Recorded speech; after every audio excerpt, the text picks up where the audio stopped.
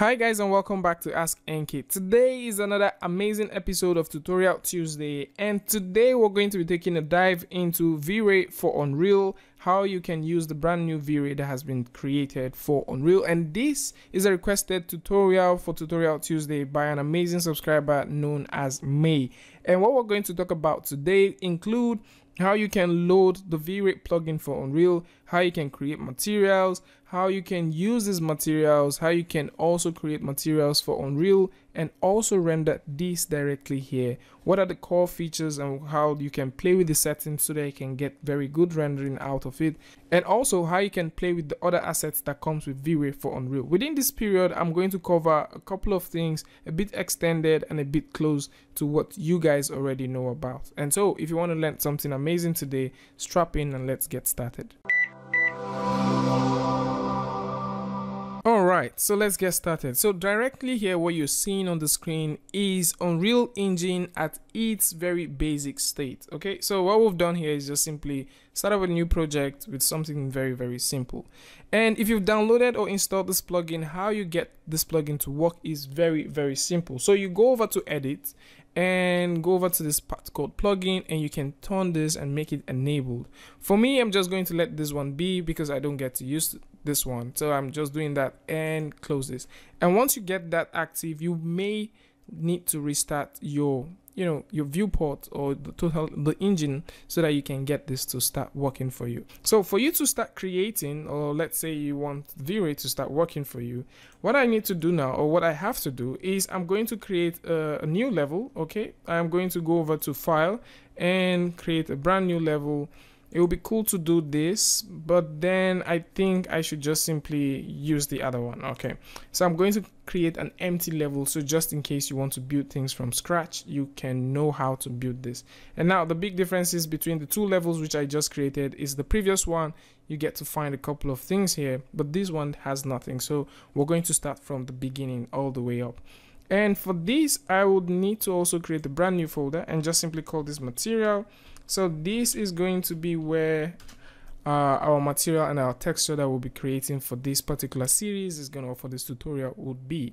So next thing which I need to do, bring out a very simple plane and let's go ahead and scale this plane. And when we start talking about scaling, it brings me to transform. So how do you play with transforms directly here in Unreal? So if you press your spacebar, you can toggle between the transforms or you can use this or you can still use the very uh, default way of switching transforms which is W, E and R. So I'm just having this selected and I'm going to scale this all the way up. And now a couple of people might be saying, but this is not how you get to scale brushes. All right, so there are two types of geometries you find in Unreal. The very basic one, which is just the basic brush like this. And then you now have another one, which are called brushes.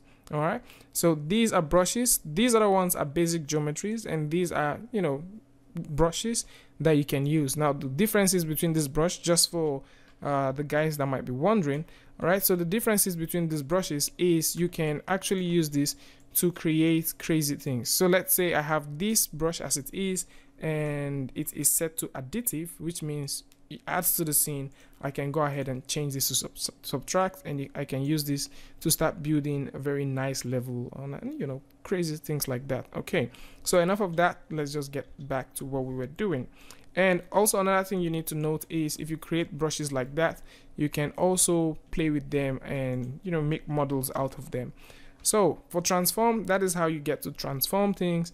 Next thing you need to know is how you navigate around your viewport. Navigating in Unreal is very simple, very basic, okay, very Maya-like. So hold down alternate with the left mouse button and you can rotate. Hold down the Alt key with the right mouse button and you can zoom in and zoom out. But for the panning, you just need to hold down the middle mouse and then you can pan, all right? So with this way, you can move around your scene with this out of the way next thing I need to do is go back to uh, the basic and simply drag in a sphere. I think a sphere would be nice. What else do I think would be nice? Uh, a cube. A cube also looks cool. So we are going to create two materials so that you guys can see how this works. Okay so I'm going to simply come over here and create a V-Ray material a very basic V-Ray material. And I'm also going to directly right click here and also create a very simple Unreal material. Now, why am I creating two materials? The guys at Chaos already confirmed that you can render Unreal materials using the V-Ray engine and we're going to simply see how that works okay and also another reason why I'm creating this is so that you guys can see the differences between these two materials so you can know which one best suits you I'm more of a node guy alright so but then if you're into V-Ray you know you actually work with V-Ray mostly like this okay? So if you want to change the color or let's say you have a V-Ray material created and you want to change or you want to make brand new color or brand new stuff you can come through and have this turned on. So this makes it active and you can change the color all right so let's change the color to something like that and simply hit ok hit save make sure that's saved and you can find that here. So now we can drop this directly on this ball as it is. We don't really see a lot of depth because we don't have light in our scene. So what we can do is we can simply throw in, let's go over to V-Ray and use the V-Ray light. We can simply throw, throw in a dome light, but a dome light is more like an ambient light. So it just washes everything, all right? So what I need to do, we can bring in a sun and sky. A sun and sky is good, but I actually don't want to use this.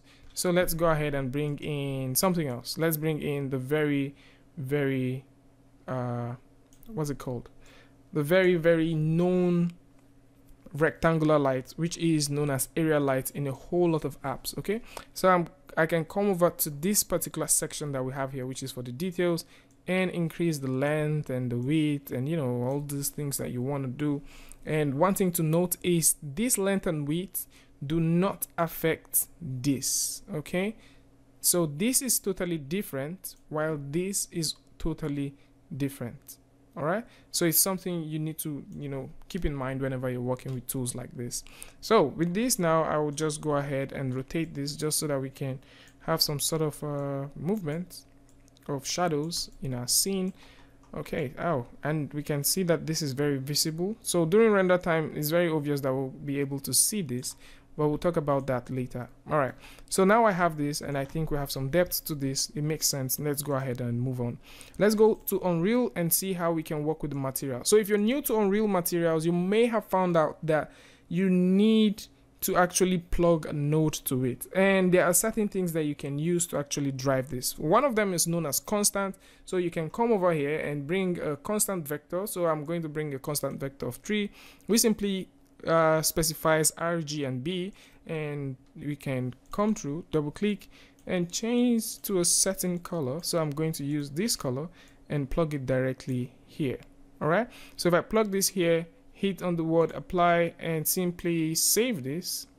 Let's save this. I can also come uh, I can also come through minimize this click and drag this directly onto this model and so with this now you can go ahead and start playing with things to see how you can shape them together and get them to work for you.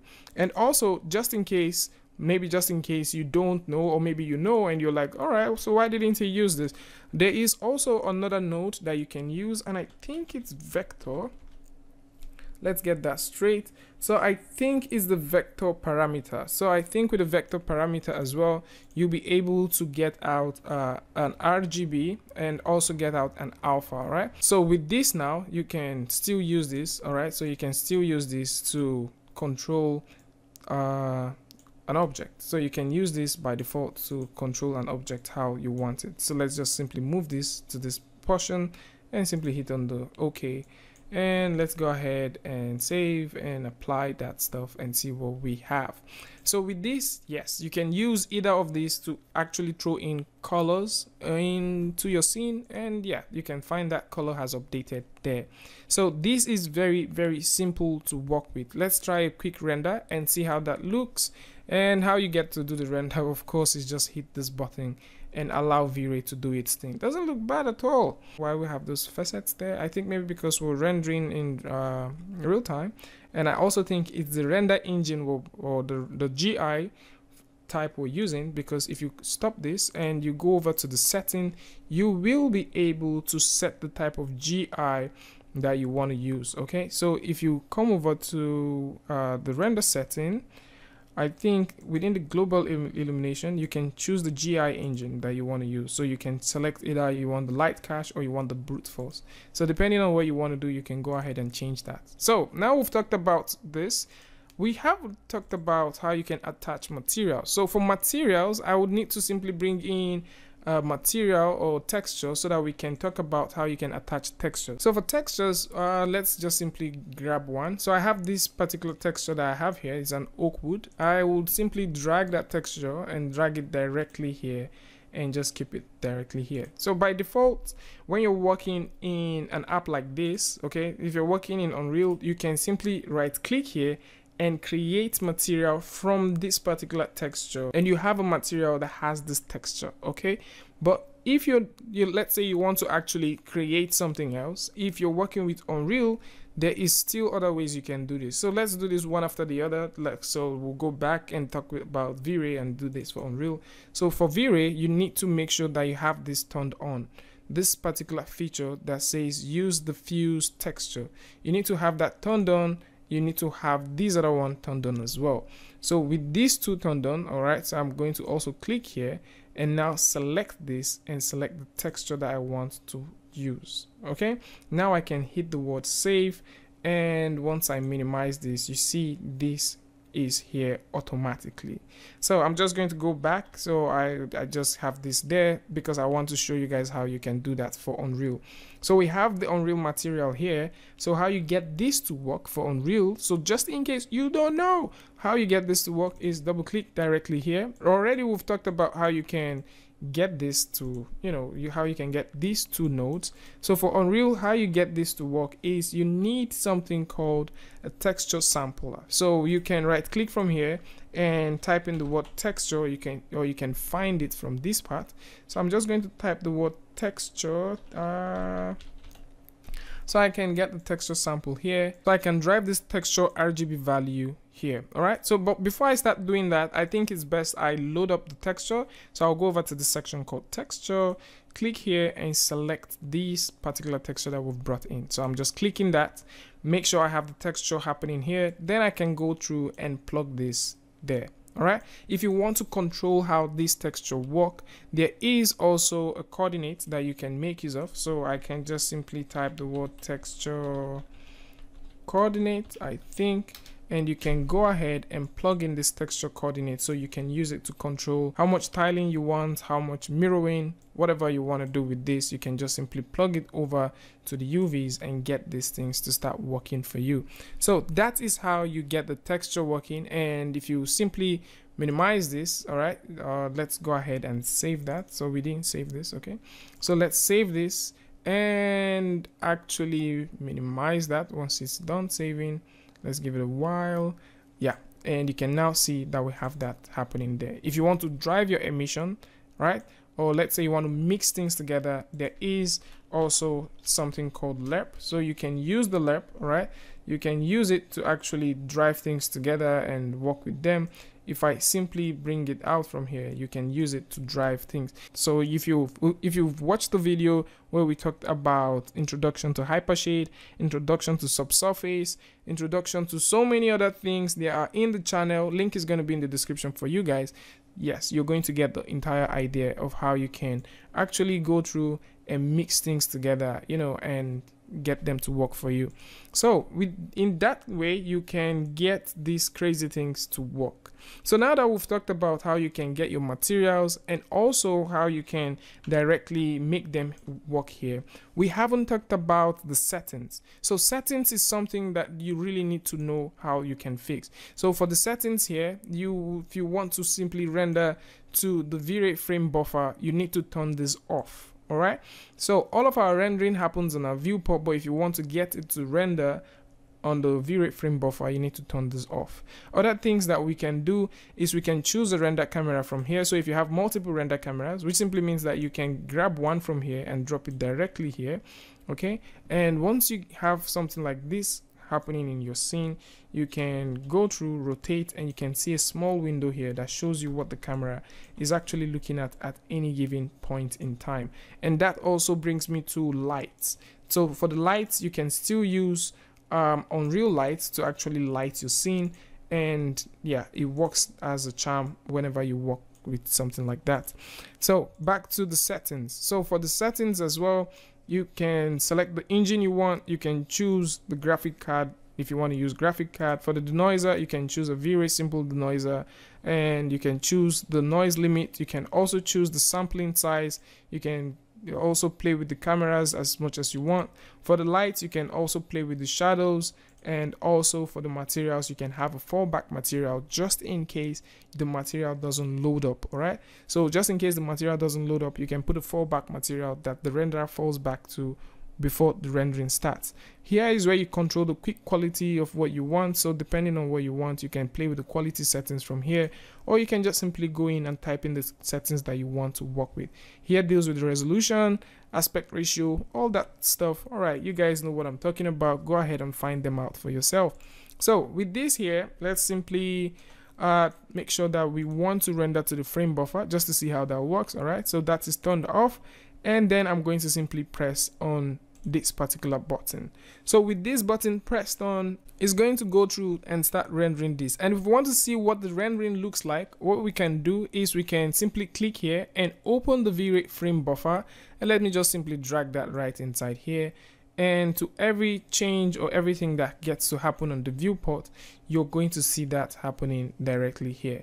And now let's talk about how we can lose this. So for you to simply lose that what you can do is you can have this object selected go all the way down here and turn invisibility on. So with that turned on and let's say we stop this let's rotate this a little bit and let's just zoom around to a point like this actually let's just stay here so that you guys can see that there is no cheating. Okay. And if I stop this and render this one more time let me also come back and open up the frame buffer so you guys can see. Let me drag it from this other screen to a screen like this. Okay. Yeah. So if I drag it from that particular screen over to a screen like this you can see that uh, the rendering actually is going to start. All right so this is how you can get things to work and I guess this is the basics of how you can work with the V-Ray that is for Unreal. I would like to know what you guys think about this in the comment section.